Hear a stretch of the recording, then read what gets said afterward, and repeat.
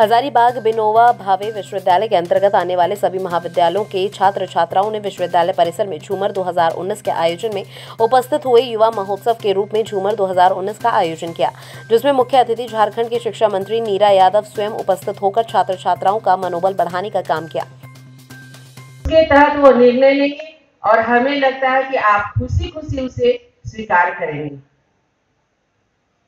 प्यारे छात्र छात्राओं आज का ये माहौल आपको एक नई गति प्रदान करेगा।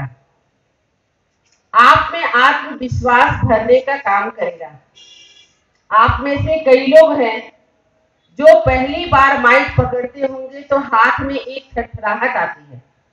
मंच में पहली बार आए तो पैर कांपने लगता है। क्योंकि ये अनुभव हमने भी शेयर किया है।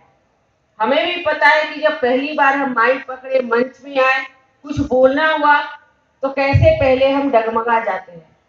लेकिन ये मंच आपके अंदर आत्मविश्वास को जन्म देगा। हजारीबाग से संप्रिया वशिष्ठ की रिपोर्ट।